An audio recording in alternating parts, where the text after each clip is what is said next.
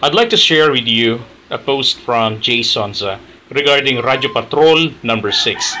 He said that Radio Patrol number 6 was my lone reporter inside and outside the broadcast center when Colonel Ray Cabautan and soldiers from the RAM SFP and YOU took over ABS-CBN during the coup in the late 80s.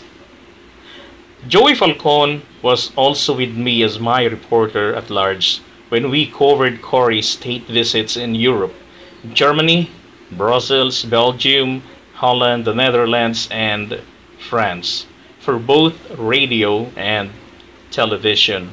You know, here's the message from Joey Falcon. From Joey Falcon. He said, kabilang ako sa grupo na nagsimula sa ABS-CBN nang mapasakamay uli ito ng mga Lopez noong 1986. Dahil sa aming pagpupunyagi, naging number 1 sa ratings ang Channel 2 at DZMM. Dahil dito, heroes ng station ang tingin nila sa amin, lalo na si Kapitan Henny Lopez.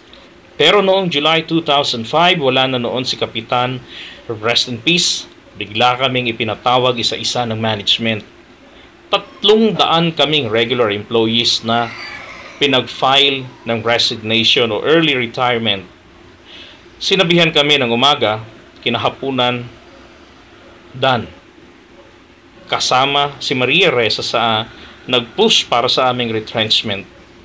Redundant daw kami eh kami ang nauna at may cost cutting daw kaya inuna kami na matataas ang sahod. Sa araw ding yun, may walking papers kami. With some amount of compensation with a warning na hindi kami pwedeng mag-apply sa ibang company within one year. Yung mga may reklamo dumulog sa dole at sa korte pero walang sumigaw ng paano na kami?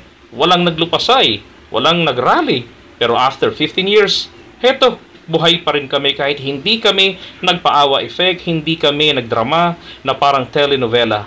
Huwag na tayong manisi ng ibang tao o ng gobyerno. Kasalanan nito ng mga nagpabaya.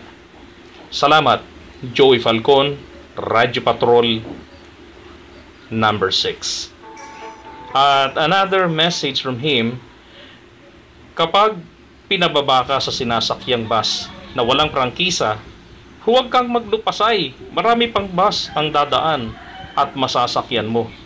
Kaunting utak ang gamitin mo. Para ito sa mga nagrarally na tila nasisiraan ng bait na mga manggagawa ng broadcast network na matagal nang walang prangkisa.